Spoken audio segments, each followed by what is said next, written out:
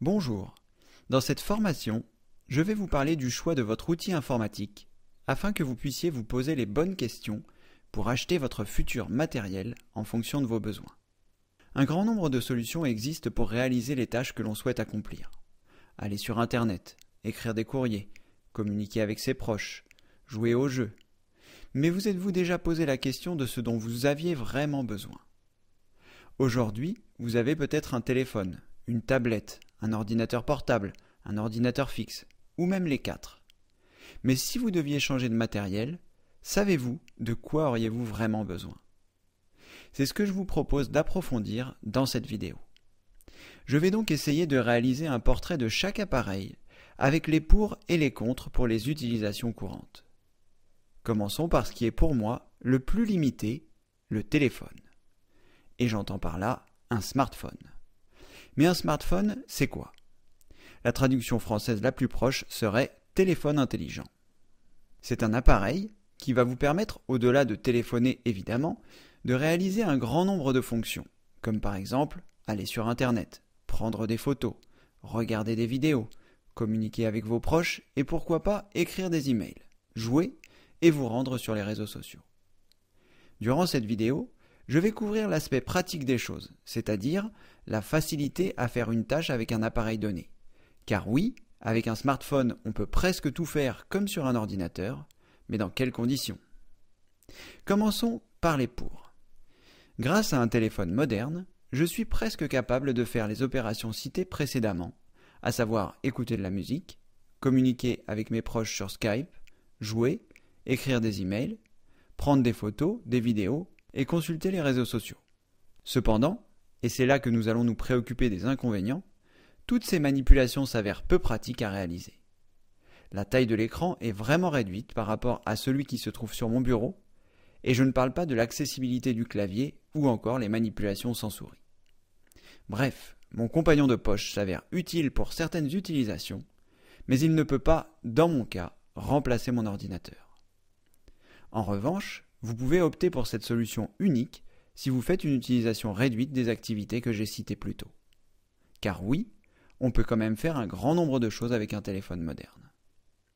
Pour résumer, il est inutile d'avoir un ordinateur si vous envoyez deux mails par jour, communiquez avec vos proches grâce à des applications comme Skype ou encore WhatsApp, consultez les réseaux sociaux et jouez à deux ou trois jeux par-ci par-là. Évidemment, vous devez prendre en considération la taille de l'écran car elle ne sera pas toujours adaptée à toutes les visions. Ayant couvert le téléphone, nous allons faire la transition facile vers la tablette, qui offre beaucoup de similitudes avec le smartphone. Les différences principales peuvent se faire sur la taille de l'écran, plus confortable qu'un téléphone, la puissance et l'autonomie. À noter que l'on peut, dans la plupart des cas, lui greffer un clavier pour saisir des textes longs et un meilleur confort d'utilisation. Si vous optez pour la solution tablette, attention de ne pas prendre n'importe laquelle, car certaines ne valent pas du tout la peine d'être achetées, sous peine d'une déception importante et qu'elles se retrouvent rapidement dans un placard. Je mettrai sous cette vidéo un lien pour vous aider à choisir votre matériel. Quoi qu'il en soit, si vous choisissez l'une de ces deux solutions, mon site ne vous sera pas d'une grande utilité, car ici nous allons parler de PC, portable ou fixe, et de Windows 10. Vous trouverez néanmoins dans la saison 3 une formation utile pour tout le monde sur la recherche sur Internet et en général. Maintenant que nous avons parlé des solutions émergentes, nous allons parler des trois solutions qui peuvent s'offrir à vous si vous choisissez un ordinateur utilisant Windows comme système d'exploitation. La semaine prochaine, je vous enverrai une vidéo sur les différents systèmes d'exploitation afin que vous puissiez savoir lequel d'entre eux pourrait vous convenir le mieux. Donc si vous choisissez un appareil fonctionnant avec Windows, vous aurez le choix entre un PC portable, un PC fixe composé d'une unité centrale, d'un écran, d'un clavier et d'une souris, et de ce que l'on appelle un tout en un, qui est un écran intégrant les composants matériels d'un PC, accompagné lui aussi d'un clavier et d'une souris. Je vais commencer par ce dernier et les avantages d'une telle solution. Les principaux intérêts de ces machines sont le gain de place, la gestion des fils et l'esthétique. En effet, comme tout est intégré à l'écran, vous n'aurez pas besoin d'avoir votre tour qui traîne à vos pieds ou prend de la place sur votre bureau. La gestion des câbles est également réduite car ces appareils sont souvent livrés avec des claviers et souris sans fil et les différentes connexions sont faites directement au sein de l'écran. Mis à part ces avantages, c'est une solution qui, je trouve personnellement, apporte un lot de points négatifs importants. Premièrement, l'évolution. Comme les ordinateurs portables, l'évolution est très réduite car ils sont souvent difficiles à ouvrir et les composants matériels utilisés sont la plupart du temps faits sur mesure. Bien sûr, vous pourrez faire évoluer votre mémoire vive et vos solutions de stockage, mais dans des proportions réduites car les emplacements intérieurs sont souvent inadéquats. Quant au reste du matériel, comme la carte mère, cela sera quasiment mission impossible de la changer pour un autre modèle et très difficile à trouver si vous deviez la remplacer suite à une panne matérielle. De plus, si l'écran tombe en panne, trouver un remplaçant ne sera pas chose facile. Donc si vous souhaitez quand même opter pour cette solution, je vous conseille de prendre une extension de garantie si elle vous est proposée, car ces machines restent assez fragiles de par leur conception et leur réalisation. De plus, choisissez une taille d'écran qui vous convient, car vous ne pourrez plus changer facilement sans avoir à remplacer tout le matériel. Je vais maintenant vous parler des ordinateurs portables, qui se sont développés de façon incroyable ces dernières années. Quand j'ai commencé l'informatique en 1998, avoir un ordinateur portable était réservé aux personnes aisées, car il coûtait très très cher. Aujourd'hui, tout a changé, et les ordinateurs portables sont devenus très accessibles en termes de prix proposés pour une utilisation courante. Mais alors, quel est le principal avantage de ce type d'ordinateur? Évidemment, le transport. Si vous avez besoin de mobilité, que ce soit à l'extérieur ou même à l'intérieur de chez vous, déplacer une tour et son écran souvent s'avérera pénible pour ne pas dire impossible. Pour les solutions extérieures évidentes, cela sera utile si vous êtes étudiant, si vous avez une résidence secondaire dans laquelle vous souhaitez transporter votre machine, si vous allez souvent chez des amis et que vous souhaitez pouvoir transporter votre travail avec vous. Pour l'intérieur, si vous aimez regarder vos emails ou vos séries télévisées au lit, sur votre terrasse, dans votre jardin ou dans les toilettes, la solution du portable pourrait être retenue, mais considérez quand même les inconvénients suivants. Les ordinateurs portables sont souvent fragiles, car le fait de les transporter peut entraîner des chocs involontaires qui peuvent réduire sa durée de vie. Veillez donc à toujours les éteindre correctement avant de les transporter et faites attention à ce que la circulation d'air se fasse de façon optimum. Le fait que les composants soient miniaturisés et que l'espace intérieur soit réduit favorise l'accumulation de la chaleur, facteur dégradant pour les composants matériels. Il faudra donc bien veiller à ce que la circulation de l'air chaud s'évacue correctement. Des contrôles annuels simples seront à prévoir comme je l'explique dans la formation intitulée Mon PC toujours au top, vidéo numéro 13. Les solutions portables sont donc à envisager si vous avez besoin de mobilité intérieure ou extérieure. Sachez que vous pourrez néanmoins vous servir de votre ordinateur portable comme une unité centrale et ajouter un moniteur externe d'une taille supérieure lorsque vous êtes à votre domicile, ainsi qu'un clavier et une souris pour une utilisation plus confortable. Actuellement, j'utilise une unité centrale, appelée aussi tour, dont nous allons parler dans quelques instants. Mais j'envisage de prendre un ordinateur portable lorsque j'aurai besoin d'effectuer des déplacements, tout en conservant la possibilité pour moi de travailler et d'enregistrer mes vidéos. Tout cela pour dire qu'en fonction de vos besoins, vous pourrez avoir recours aux deux ou trois solutions dont je parle dans cette vidéo. Donc, les unités centrales, également appelées UC, tour ou encore PC, sont des boîtes qui accueillent les différents composants d'un ordinateur. Elles présentent de nombreux avantages et quelques inconvénients que vous pouvez deviner avec les informations que je vous ai données précédemment.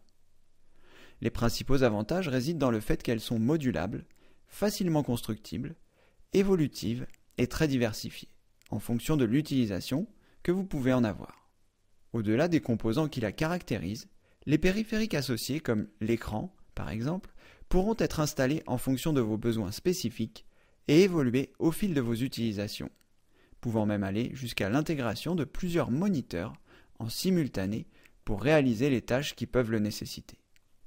Par exemple, mon ordinateur est actuellement connecté à trois écrans, ce qui me donne un confort de travail exceptionnel pour réaliser des tâches que je dois effectuer chaque jour ou bénéficier d'une très grande surface de travail pour par exemple faire mes montages vidéo. Vous aurez également une plus grande souplesse sur les solutions de stockage. En effet, dans la plupart des boîtiers, vous pourrez installer plusieurs disques durs. Vous pourrez ajouter des composants additionnels comme une carte graphique si vous avez besoin de jouer. Bref, une évolutivité accrue par rapport aux solutions évoquées précédemment. Du côté des inconvénients, on retrouve la difficulté de transport et la place prise par de tels systèmes. La gestion des câbles peut également être un petit frein, mais une fois que l'on sait comment tout brancher, ce n'est finalement pas si compliqué.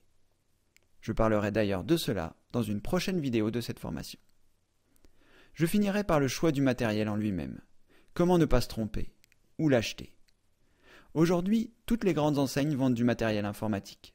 Mais les vendeurs de celles-ci ne sont pas toujours bien placés pour vous donner les meilleurs conseils, coincés entre leurs commissions et le matériel imposé par les centrales d'achat de ces grandes chaînes.